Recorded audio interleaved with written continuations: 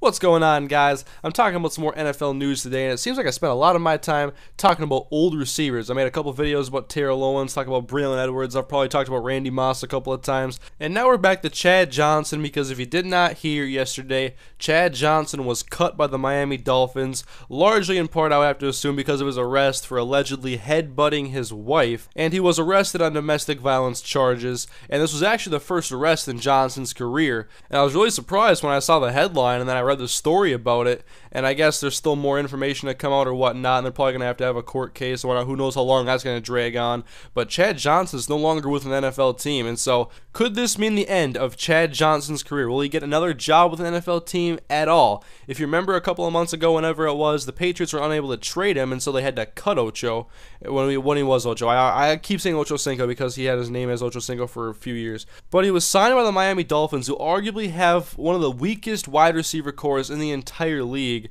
Obviously, Chad's getting up there in years, and Joe Philbin had a press conference today where he said that it wasn't just one incident that contributed to the termination of his contract. So uh, it was probably a lot of production-based stuff in this as well, but the arrest was probably just the final straw. And now the Chad Johnson experiment for the Miami Dolphins is over. So where does Chad Johnson go from here? Will there be another team that is risking or is willing to take that risk to have Chad Johnson on their football team now with a legal battle possibly upcoming? I would think not. I mean, even a team that could use another receiver, I always thought the, the Raiders would be in the market for an older receiver like Plaxico Burress. Not sure what Plax's asking price is right now, but there's still him and Chad Johnson now available, and Terrell Owens and Randy Moss have jobs, both of which who did not, both of which didn't play last year. This league is crazy. I love it, but I think Chad Johnson could actually be done now for his career, especially if this is a dragging legal battle.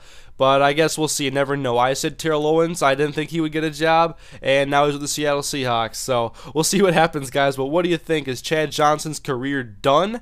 Uh, it, it's looking like it right now. That could be the case. But anyways, guys, thank you for watching. Leave a like on the video. Leave a comment on the video. Leaving your thoughts. Thank you for watching. I'll see you guys next time. Have a great day.